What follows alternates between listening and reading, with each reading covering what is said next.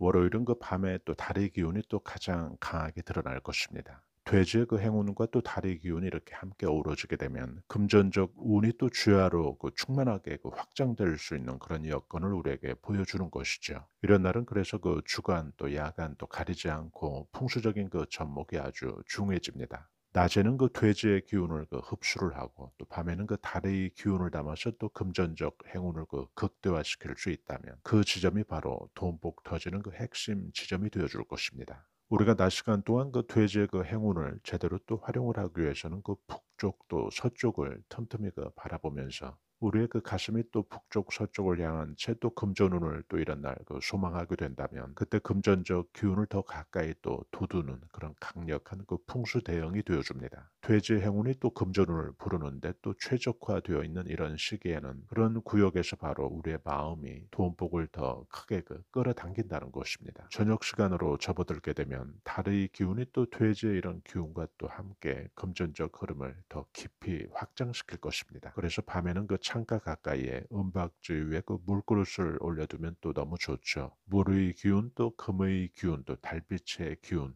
이런 것 등이 그 삼박자가 또 결합이 됩니다. 은박지는 또 금의 기운을 그 상징을 하기 때문에 물그릇은 또 물의 기운을 또 흡수하기 때문에 이런 그 풍수 배열에서는 우리가 또 돈복을 두 배, 또 세 배로 그 확장시킬 수 있는 그런 그 힘을 또 얻게 될 것입니다. 금전적 기운을 그 넓게 또 다양하게 또 포집하는 그런 날로 또 이런 날을 삼으시면 또 아주 좋겠죠. 그런 그 돈복의 큰 그 확장력에서 또 비례하듯 돈복이 또 크게 그 터지는 날입니다. 여러분들께서 그 낮 시간 또 밤 시간 이런 거 돼지의 기운 또 달의 기운을 그 동시에 그 흡수하셔서요. 오늘뿐만 아니라 또 한 주 내내 이런 그 흐름으로 왕성하게 또 돈복을 크게 그 끌어당겨 보시기 바랍니다.